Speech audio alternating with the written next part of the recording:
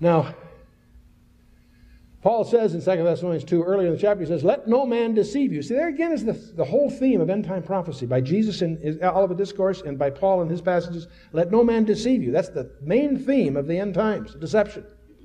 For that day shall not come except there come a falling away first, and that man of sin be revealed, the son of perdition. There's two, two more of those titles man of sin, son of perdition. And each one of those has a whole study behind them. We won't take the time here who opposeth and exalteth himself above all that is called God. We know he's going to be acceptable to the Jews because Jesus says in John 5:43, "I've come in my Father's name, you receive me, me not, but another will come in his own name, and him you will receive." So we know he's going to be accepted as the Messiah by Israel. We know he's going to be accepted to the pseudo Christians on the planet Earth because he'll come as a pseudo Messiah or a Christos or whatever. But I want you to notice, above all that is called God, read that as including Allah. He's going to be accepted by the Muslim world. Now, it's very interesting, by the way, if you start studying Shiite eschatology, you discover that they believe that their deliverer, who was born in 940 AD but occulted, disappeared, and will show up again at the end times to help put away the Antichrist, strangely enough. um, the 12th Imam, they believe he's, he's around somewhere in Arabia today. Now, I'm not suggesting it's true. I'm saying that's what they believe, and their mindset is being prepared to accept some super guy who's going to step forward in, the, in, in their terms. Somehow, I suspect he's going to fulfill the expectation of each of the groups. So he will above, uh, exalt himself above all that's called God or that is worshipped. That's a lot of stuff. So that he, as God, sitteth in the temple of God. And from the grammar here, it's clearly we're talking about the literal temple in Jerusalem being rebuilt. This is one of the allusions to it. Showing himself that he is God. Shirley MacLaine, move over. Coming world leader, 33 titles in the Old Testament, 13 in the New. Is he Jew or Gentile? I'm not going to get into that one. Remember, Revelation 13 tells you it's a duet. There's two beasts in Revelation 13. Where does he come from? We can talk a lot about this guy. I just want to make one real point with two verses. When they shall have finished their testimony, speaking of the two witnesses in Revelation 11, the beast that ascendeth out of the bottomless pit. This is the first time he's mentioned in the book of Revelation. Where does he come from? Out of the abussos. Is this guy born of a woman? Maybe. But where does he really come from? Is he just some kind of political leader that is somehow empowered? No, I don't think so. I think there's something supernatural in his background. Revelation 17 8. The beast that thou sawest and was and is not shall ascend out of the bottomless pit, or the abussos, and go into perdition. And they that dwell on the earth shall wonder, whose names are not written in the book of life. They're going to be amazed at this guy. Hal Lindsey and Dave Hunt both have said from public platforms they believe when the Antichrist shows up that he will probably either be an alien or boast of a very close alien connection. Now, the big lie comes in the same passage, 2 Thessalonians 2, because they received not the love of the truth, that they might be saved. For this cause God shall send them strong delusion that they should believe the lie. Your English may say a lie, that's a mistranslation. The Greek says there's a, there's a definite article. There is a specific lie they're going to buy into. Now, all of us, as we study prophecy, have problems. There's areas that we just have a tough time visualizing. Let me tell you one I've had trouble with since I was a kid. And that is, there's a number of passages, and I'll use Psalm 2 as an example. Second Psalm is a fascinating psalm. And by the way, when you get a chance, take a piece of paper and diagram Psalm 2. It's a short psalm. Three people are talking. Figure out who the three people are, who's saying what to whom.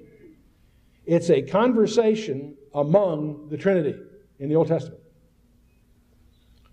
One person says, Why do the heathen rage and the people imagine a vain thing? The kings of the earth set themselves, and the rulers take counsel together against the Lord and against his anointed. Oh, really? Saying, Let us break their bands asunder and cast away their cords from us. First three verses. It goes on. He that sitteth in the heavens shall laugh and hold them in derision in the sore displeasure. It's interesting. This is one of several passages which describe the final climactic event on the, on, before the second coming, in which the world, the nations of the world, take up arms against God. That mystifies me. I can understand the world rejecting God. I can visualize the world pretending He's not around. I can visualize the world doing lots of offensive things. I can't imagine in my mind how the world is going to load up weapons and go to war against God. I mean, get serious. There's another place. In Revelation 16 is another one of these passages. This one fascinates me because I always thought this was symbolical somehow. I saw three unclean spirits like frogs. Whoa, wait a minute. As you read the folklore surrounding the aliens and all these reports, you discover there appears to be three primary types the grays, the menials that are somehow the menials, whatever that means. They have the Pleiadians or Nordics, call them what you will, that look like us. You wouldn't, presu- presumably they could be among us, you wouldn't recognize them. Then there's this strange group you're hearing more and more about in more recent reports, the reptilians or reptoids, where they're scaly, ugly, weird creatures. And by the way, there are women that report repeat, uh, uh, frequent sex with them. Are they deluded? Who knows? But those are reports. I mean, it's kind of strange. Can't imagine that being. Anyway.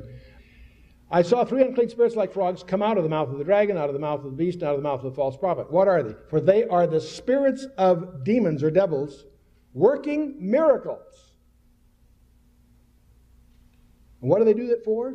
Which go forth unto the kings of the earth and of the whole world to do what? To gather them to the battle of that great day of God Almighty. The devils, minions, uh, whatever they are, are organizing the world to go to war against God. Now you say, Chuck, that's kind of strange. And yet, we can begin to imagine at least one plausible scenario. If aliens in some form ultimately make a public involvement on the earth, first of all, that'll throw out Western civilization out the window, including the Judeo Christian heritage. It'll be a quaint tradition that'll be no longer tenable in worldly terms. And these aliens are here to help us. What are they here to help us to do? Well, if nothing else, to prepare us for the bad guys who are coming. Oh, really? Is it possible that we've got Satan playing good cop, bad cop here? Is it possible that we got the good guys trying to help us to go to war against the bad guys, and the bad guys happen to include a guy wearing a, wearing a, I mean, uh, riding a white horse and, you know, Revelation 19, all that? Okay. I don't know. But for the first time, I can begin to visualize what might be going to going on. Now, here's the challenge. Again, we'll wrap it up. The question I'm going to ask you is Are we being plunged into that period of time about which the Bible says more than it does about any other period of time in history, including the time that Jesus walked the shores of Galilee or climbed the mountains of Judea. We talked earlier about this linear concept of time. And uh, there are people in the past that are them. There's us in the present, but we're in this linear period of time. From the throne room of the universe being outside time, all of this is perceptible simultaneously. The predicament of the them, the people in the past, Adam and his fallen race, is understood. Our predicament being derivative of theirs is we're still part of that fallen race. And as a result, of course, we have him come down and pay the price for a destiny that there's no way we could earn ourselves. What an interesting summary. How that Jesus Christ in a sense, traveled back through time, not to change history, but to fulfill it, to fulfill our future. We are the beneficiaries of a love story written in blood on a wooden cross that was erected in Judea some 2,000 years ago. Whether it's them or us, we're all covered by the blood of Christ on the condition we accept it, on the condition that you receive it. Now, I usually like to close pointing out, whenever I got a good conservative group, I love to close this way because there are three things God can't do. Now, most of you know me, so this is not a surprise, but and, and when, I need, when I go to a new church, I usually get a gasp here. God can do anything. Well, the Tanakh says three, eight times that he cannot lie. Something God can't do. God cannot lie. How reassuring that is. Allah of the Quran is capricious, untrustworthy. The God of the Old Testament is one who makes and keeps his promises. They're, very, they're opposites in many ways. Second thing he can't do, he can't learn. Why can't he learn? He knows everything. That's wonderful. That's encouraging. Because if he can't learn, that means he can't be disappointed in me. Wilbur Smith says it's so cute. See, I'm glad he chose me before the foundation of the world because if he looked at me now, he might change his mind. No.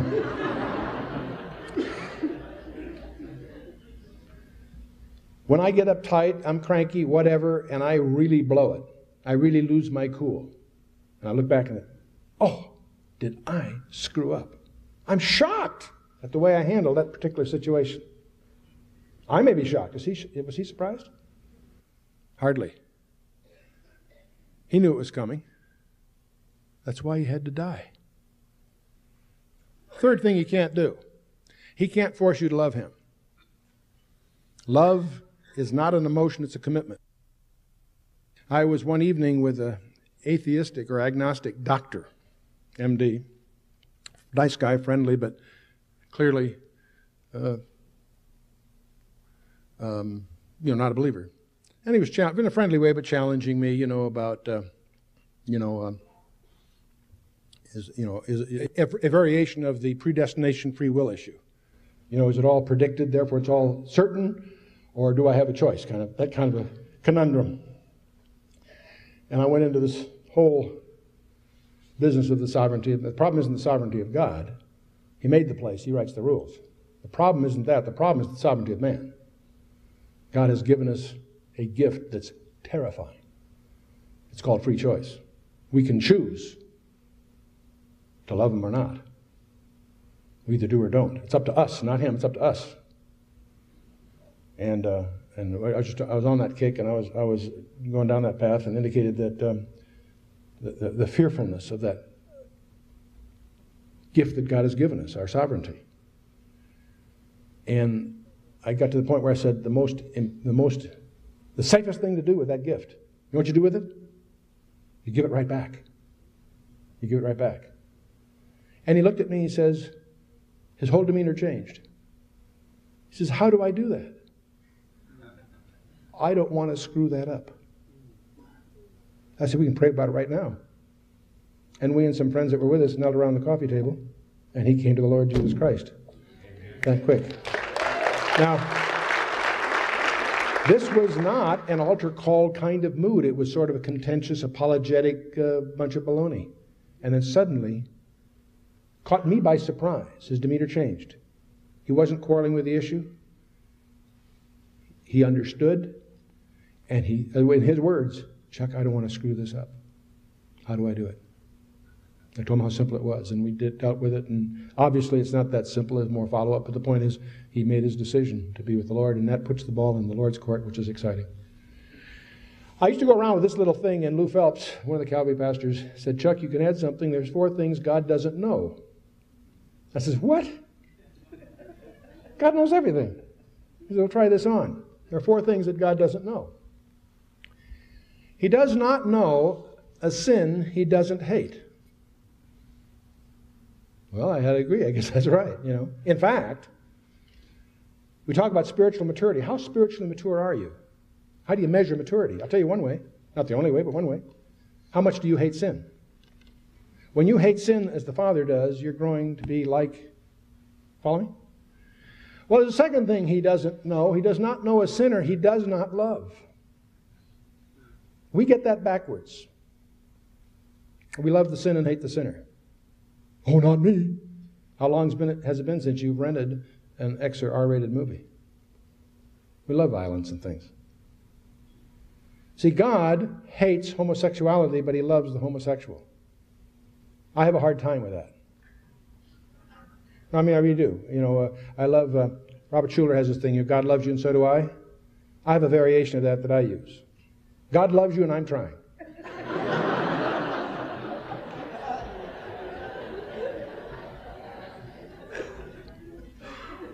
He does not know an alternate path to his throne but through his Son.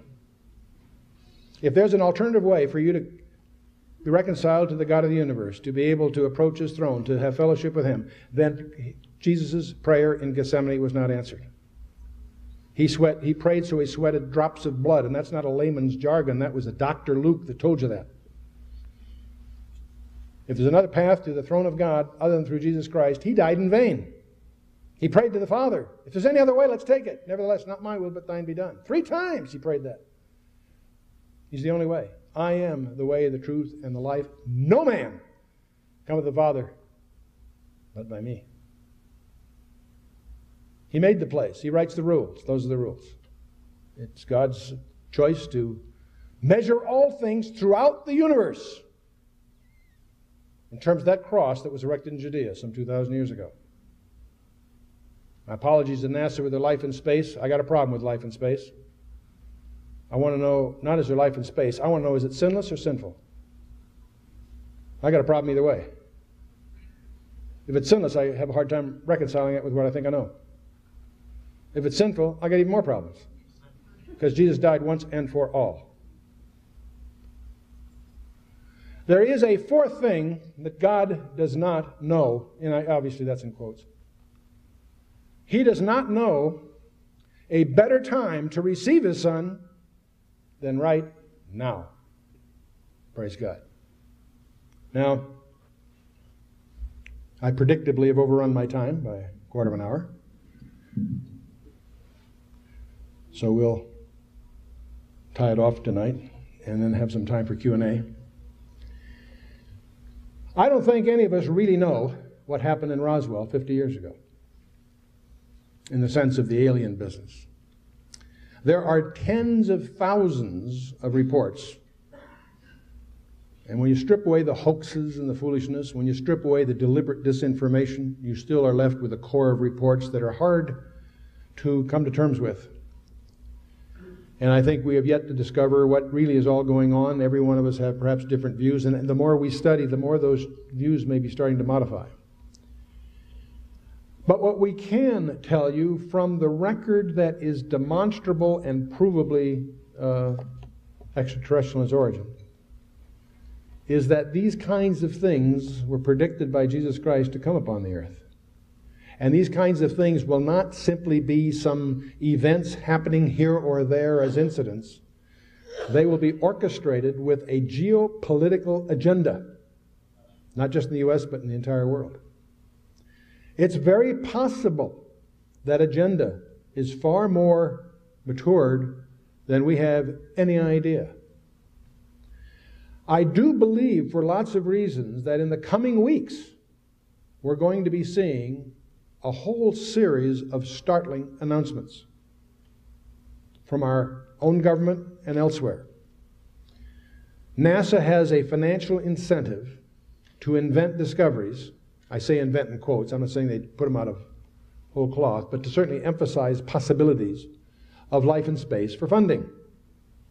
Clinton did that ploy August 7th, uh, August 6th of last year. NASA changed their strategy. Up till then, they were very conservative about these kinds of things, but on August 6th, they start fanning this flame. It's part of a deal, I think, with Clinton for the election, what have you. But they also recognize it's a way to get funding. And the next day, on that morning on, on the south lawn of the White House, Clinton underscored the whole thing. And I, I think you're going to see more. In, and the contrivance of two Mars missions one to land at, before, on Independence Day, and another one that's doing the mapping and will be watching the, the pyramid, I mean, the uh, face and all that business.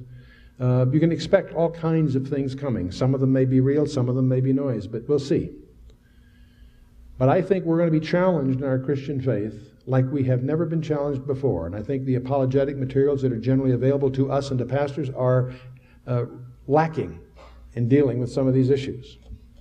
I do believe you and I need to study more intensely uh, Genesis 6 to, in order, not just for the historical validity of it, but to understand the prophecies in the Old and New Testament that deal in these terms. I think we need to be prepared for the strangeness. We need to prepare so that, we, that we're ready to give every man an answer of the reason that's, of the hope that's within us. Now, we happen to have in our possession an extraterrestrial message that's been authenticated. And uh, there are two critical discoveries that changed my life. My background is engineering, and uh, I've uh, uh spent most of a 30 year career as a techno- high technology executive. The thing that impressed me most during my life is the discovery that the Bible, first of all, is an integrated message even though it's written by, in 66 separate books by 40 different guys who didn't even know each other over a period of almost 2,000 years. It's an integrated message. I'm going to demonstrate that to you in a few moments. So the first point is that there's two discoveries that it's an integrated message. The second thing we discover is that it has its origin from outside the dimensionality of time itself. And this is going to be very, very relevant because it describes the kinds of experiences that we see coming upon the planet Earth in some very unique ways. And so that's our goal today to explore that a little bit. Now, God, let me ask a question Is God subject to gravity? I don't think so. So God is not somebody who has lots of time. God is somebody who's outside the dimensionality of time altogether. And that's what Isaiah means when he says it, thus saith the high and lofty one that inhabiteth eternity. Now, how does he, if he has the technology to create us in the first place, does he have the technology to get a message to us? Of course. The problem is, how does he authenticate his message? How does he let us know that the message we possess is really from Him and not some kind of contrivance or some kind of fraud. How many of you here in the audience believe that this is the Word of God? Wonderful. That's the politically correct response in this community. Outside, maybe not so, but here, okay. The question you need to ask yourself desperately is how do you know? Because if we're correct, before this day is over, you're going to discover that we're going to be, pl- we are being plunged into the greatest cosmic deception that will ever come upon the planet Earth. The lie. The New Testament talks about. it. I don't think that's an ism. Mark Eastman and I both believe it's a very tangible, specific thing that we're going to try to cover. And you, as a member of the Christian community, are going to be, in the coming months, coming years, challenged in a way that will require you to really know why you believe this is the Word of God. But let's move on a little bit here. God authenticates it by declaring the end from the beginning and from ancient times things that are not yet done. Only God has that uh, capability, not angels, not any other created thing, only God Himself. And he demonstrates that this is from him how? By writing history before it happens. Now, let me talk a little, we've talked a little bit about time. We've talked about multiple spaces, three dimensional spaces, four dimensional spaces. We've talked about that. Let's talk about time. You and I think of linear time. We have a tough time even thinking about two dimensional, three dimensional time. But let's imagine that this curve through three dimensional space is a line that represents our timeline. Let's imagine some being is outside our dimensionality of time, and in our uh, dimension of time, we have the past, the present, the future, as we experience it going through this line, right? Now, an analogy here would be like the parade that's going on right now through Roswell. If you're sitting on the curb watching these floats come around the corner, for you on that curb, that parade is a linear sequence of events. But if you are outside the plane of that, of that parade, say in a helicopter above the parade, you can see the beginning at the end at the same instant. That's a clumsy analogy, but I think you get the idea. Now, that means that even though for us it's past, present, and future, from someone in eternity who can watch the past, the present, and the future, it's in common, so to speak, for the one in eternity. Now, moving on, the rabbis in Israel have a quaint expression about the Torah or the Tanakh or the Bible as we would think of it. They say, We really won't understand the scripture until the Messiah comes. But when the Messiah comes, he will not only interpret the passages, he'll interpret the very words, the very letters. In fact, he'll even interpret the spaces between the letters. When I first heard that, I smiled because I just regarded it as a colorful exaggeration. Until I reread Matthew chapter 5, verse 17 and 18, where Jesus himself says, Think not that I've come to destroy the Torah and the prophets. I come not to destroy, but to fulfill. For verily I say unto you, till heaven and earth pass, one jot or one tittle shall in no wise pass from the law, till all be fulfilled.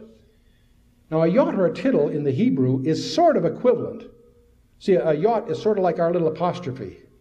A tittle is the little decorative hook on certain letters. A yod or a tittle is sort of like us saying a crossing of the T or the dotting of an I. They're parts of a letter.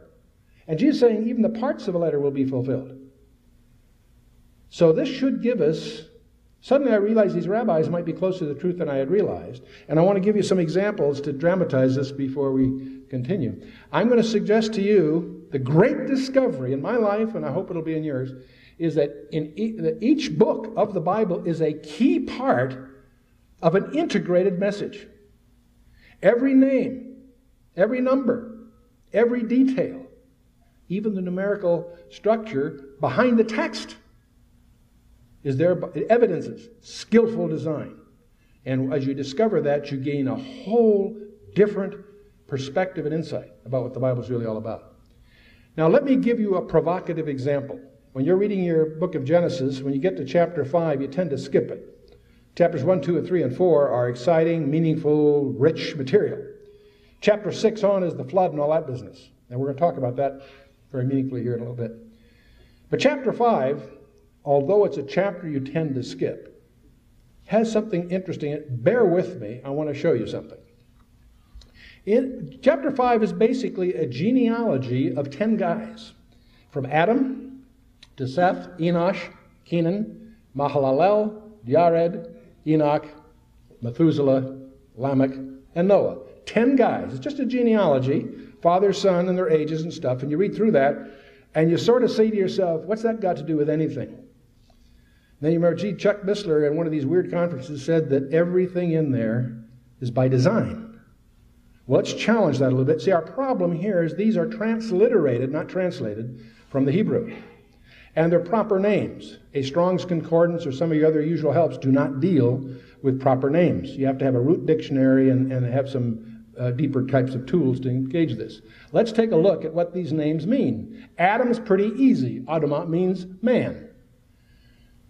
Seth means appointed. We know that we can glean this from Genesis 4:25. When Eve gave birth to Seth, she felt he was re- appointed to be a replacement for Abel, whom Cain slew. It says so in verse 25 of chapter 4, previous chapter. The, word, the root Seth, first, that the word Seth comes from, uh, implies appointed. Enosh is his son which it's a word that it comes from the root anash, which means incurable. It's used of a wound or a grief, woe, sickness, or wickedness, what have you. It means it, it essentially means mortal, frail, or miserable. Tough handle to go through school with, I imagine. Now, Kenan is mistranslated in some of your Bibles because it's assumed, uh, Bible translator assumed it was an Aramaic root, called it Canaan. No, it's Kenan. In fact, uh, Balaam makes a pun on the name in Numbers 24.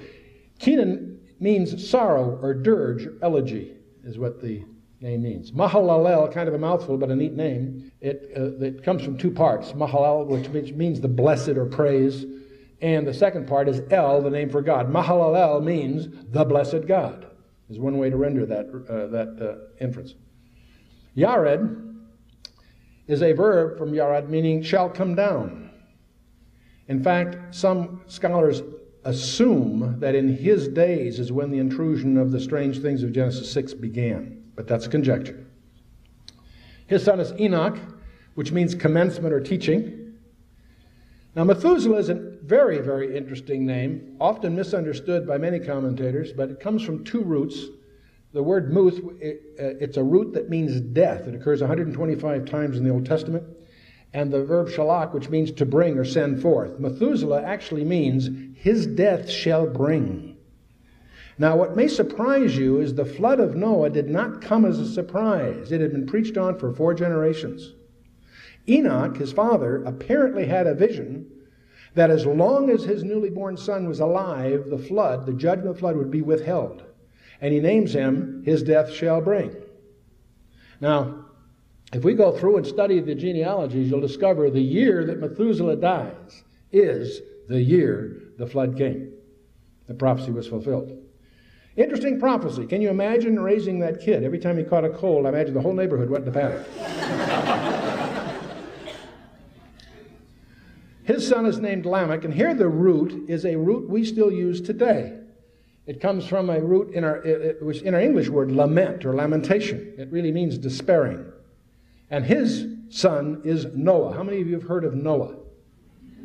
We got about 70%, Jim. I think we got a real problem here. Okay.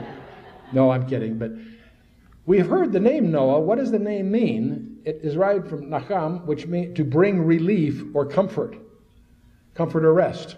And you can get this from verse 29 of chapter 5, because when Lamech names me, he indicates that. So these are, these are pretty, uh, most of them are pretty well documented. Some of them take a little digging.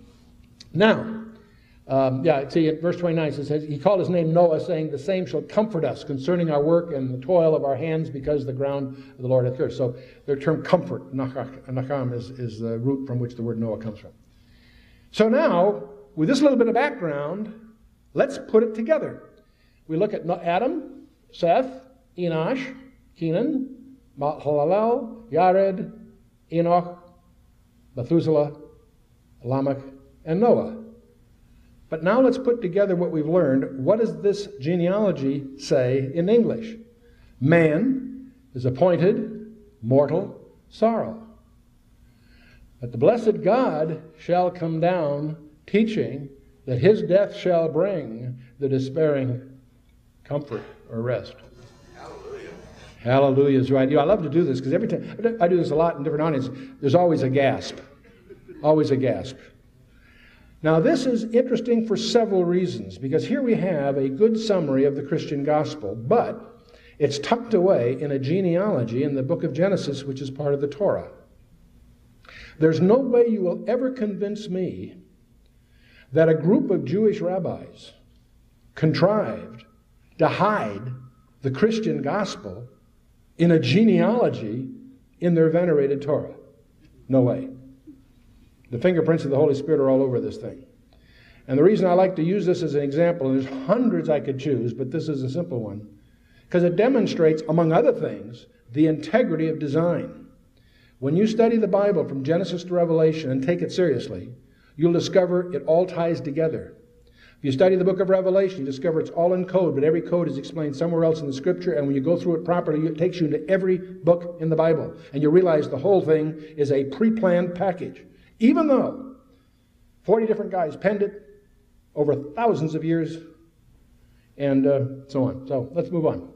Now, by the way, how does this all climax? Let's get back to this little model of our timeline. We're in that little linear time. And there's the throne in the throne room of the universe. On this timeline, there are the people of the past. I'll call them them. And there's us in the present. From the throne room of the universe, they could look down and see the dilemma, the predicament that they of the past got themselves into. And we are their offspring. So one came down to fulfill their requirements, to give them a destiny that was so fantastic they could not earn it for themselves. And we are the same beneficiaries of that. This is an example where someone traveled through time, entered our time, not to alter time, but to fulfill the future, our future. And how was this done? By a love letter, written in blood on a wooden cross that was erected in Judea some 2,000 years ago a pivot point that the entire universe will be measured by.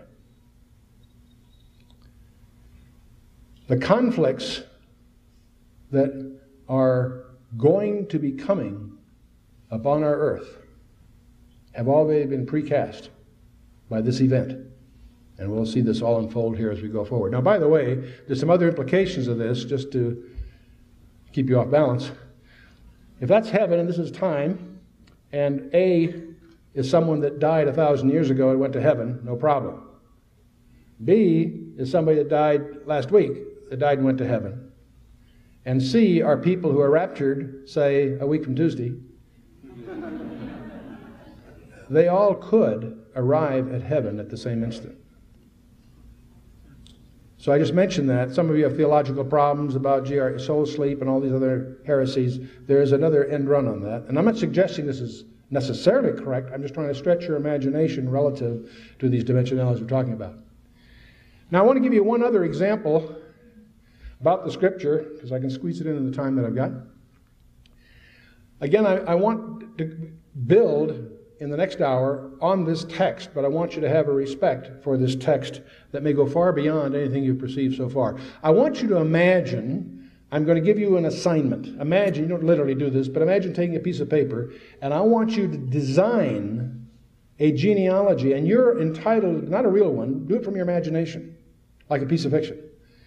But I want the number of words in your genealogy to be divisible by seven exactly. You can have seven words, 14, 21. But if you divide the number of words you're using by seven, you have no remainder. You understand what I'm saying? How many could do that? I see a show of hands? Sure, okay, good number. I'd like the number of letters also to be divisible by seven exactly. That makes it a little messier, right? How many think you can still do that? Okay, I got a few hands. Let me go on. I want the number of vowels to be divisible by 7 exactly, and I'd like the number of consonants to be divisible by 7 exactly. How many could do that? Getting a little tougher? Okay. Yes, I'll let you use a computer, sure. The number of words that begin with a vowel should be divisible by 7 exactly. The number of words that begin with a consonant should be divisible by 7 exactly. Okay? The number of words that occur more than once should be divisible by 7. Getting a little tougher? I won't ask for a show of hands. I think some of you are losing heart in this assignment.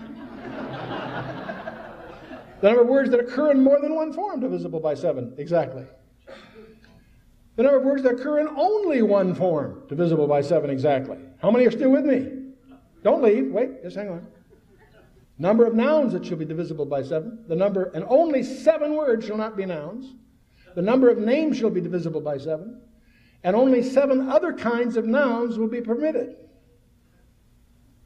This, is the shoe beginning to pinch here a little bit?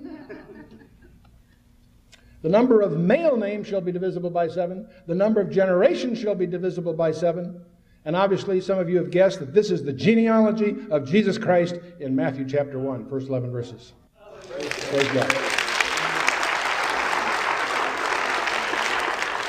And obviously, what I'm drawing upon here are the studies of Ivan Panin, who was born in 1855 in Russia, thrown out because of plots against the Tsar and other things, and he, and he ultimately goes to Harvard and uh, graduates in mathematics, becomes a Christian, discovers certain things about the Scripture, spent 50 years of his life obsessed with what he's discovering. So left 43,000 pages of little tiny handwritten notes of discoveries that he made. Let me give you another one that's not as well known, but is even more profound in my view.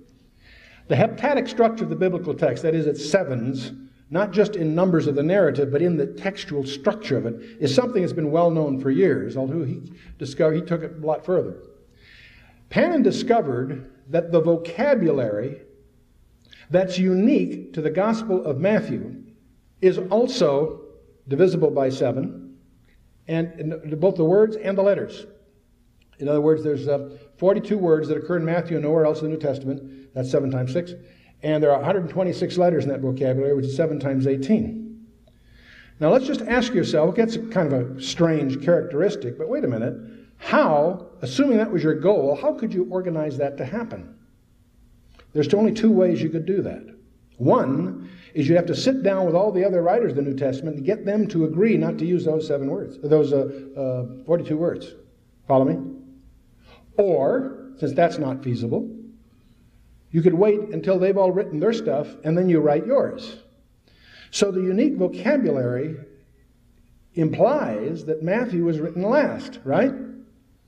So that's no problem. Gospel of Matthew has a unique vocabulary divisible by seven exactly. So it would seem to indicate that Matthew was written last. Except Gospel of Mark has the same thing. Words that are unique to Mark and none other book in the New Testament have a vocabulary that's divisible by seven exactly. And so does the Gospel of Luke.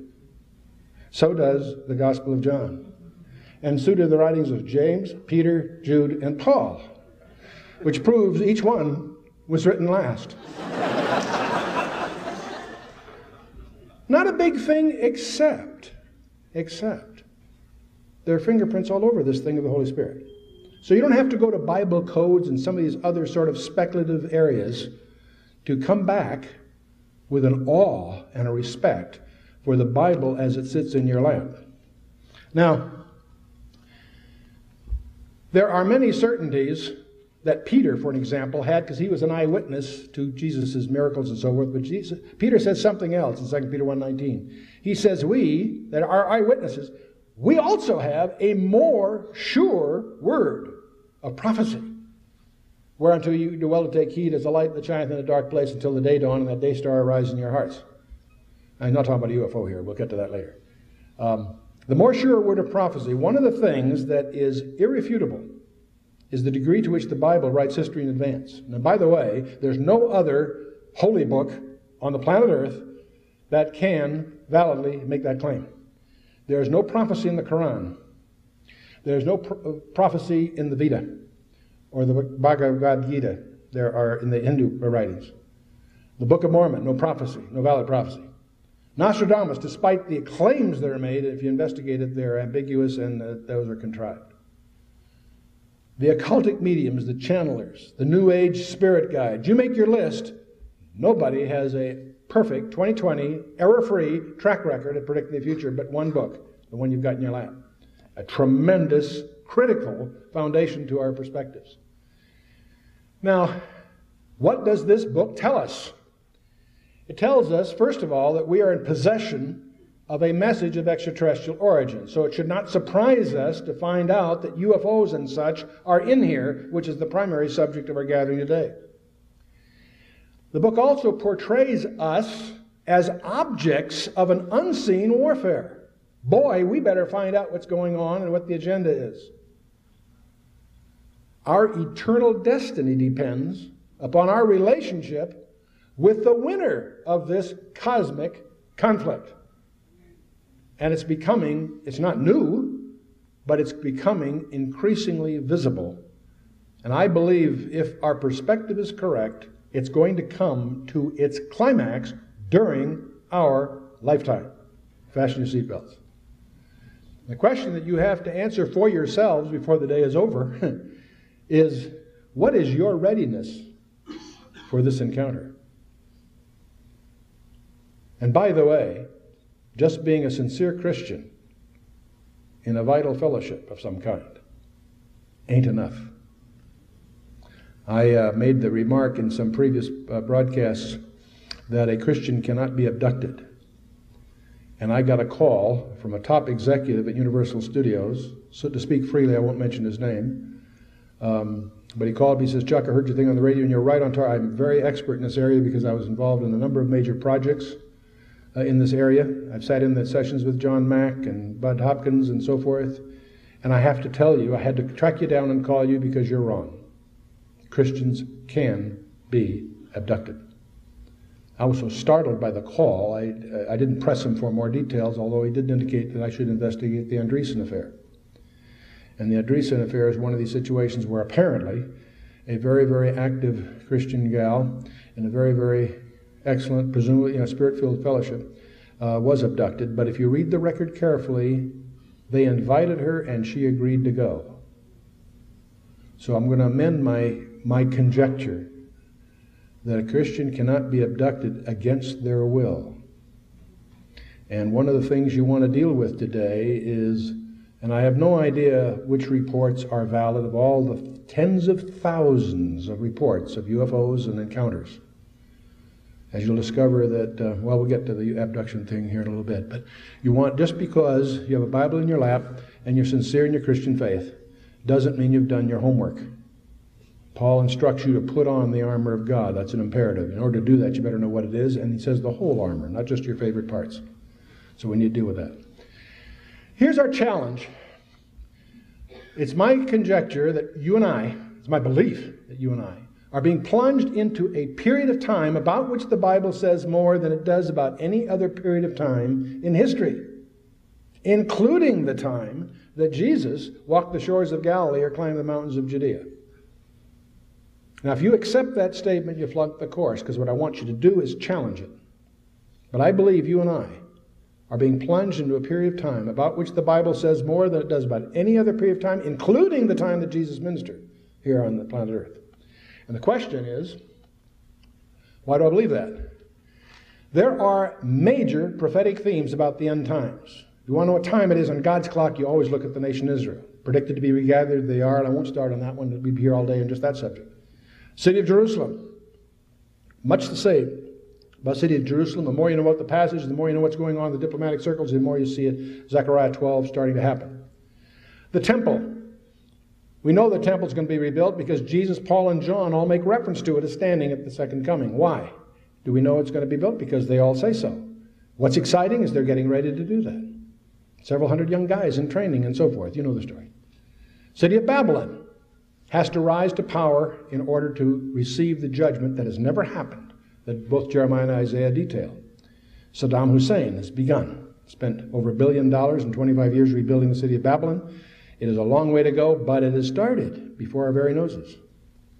Russia, Magog. The more you know about Ezekiel 38 and 39 in terms of the technicalities of that passage, and the more you're up to date on the current intelligence picture in the Middle East, the more it would seem, I'm not saying it will, but the more it seems that it could happen at any day now. And by the way, any of you who don't know what I'm talking about, I encourage you to take advantage of our free offer. Anyone at this conference that doesn't know, uh, get our intelligence newsletter can, by simply giving their, us their name and address, there'll be sign up sheets in the back. If you're watching by uh, internet or whatever, you can do it on the internet. If you're listening by phone or on a tape, you can call us at 1 800 K House 1, leave your name and address, ask for the year subscription to our intelligence newsletter, and we'll give you a, not a sample issue, a full year of a 32 page monthly publication that attempts to highlight the biblical relevance of current events and uh, in the hopes that you will find it addictive, of course. I hope you renew when the year's up. The rise of China, much talked about in the scripture and certainly a major event of the coming decade. The decline of the U.S., implied by many things, and of course another subject that there's much we could talk about. While all this is going on, the rise of the European superstate, and we're going to talk a little bit about this more today, while all this is going on, religion is being championed throughout the world to become ecumenical. We'll talk a little bit about that. And obviously, there's a move to a global government for lots of reasons. Perhaps the primary forcing function is nuclear proliferation. That's understandable. But there's another forcing function that might be the UFOs. I'll come back to that before we're through. The rise of the occult in our society most of us that grew up in the 50s or 60s or whatever, the big issue on the college campuses is it was rationalism versus theism. Not today. Both sides of the debates, accept the supernatural, the question who's going to win. Different kind of debate on the campuses today. And of course, the prophetic thing, it may surprise you to discover that UFOs are one of the major prophetic themes in the scripture. Now, Jesus gave us a very, very strange warning. Jesus said in Matthew 24, that famous exposition of his confidential briefing to his disciples, he said, But as the days of Noah were, so shall also the coming of the Son of Man be. And I suspect there's not one Christian in a hundred that knows what that means because they have been mistaught about the days of Noah. Most of us, unless we've done some unusual homework, have no idea what the days of Noah were really like. The question isn't the flood of Noah. There's plenty of scientific evidence that indicates that happened. The question is why? Why did God send a flood and to, to, to wipe out all life upon the earth except for nine people? You mean eight people? No, I mean nine people. Enoch was pulled out beforehand, right? His dad. But Noah and his three sons and their four wives are preserved through this ark business, right? The flood isn't the mystery. Why would God resort to that extreme measure? And I've studied this through my 40 years of biblical study as a curiosity and just an interest in the text. It's only recently it hit me between the eyes that unless you understand that, you will not understand the rest of the Old Testament. You will not really understand the prophecies of both the Old and the New.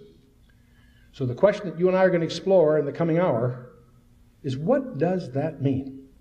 What were the days of Noah and how does it relate to UFOs and aliens and all that stuff?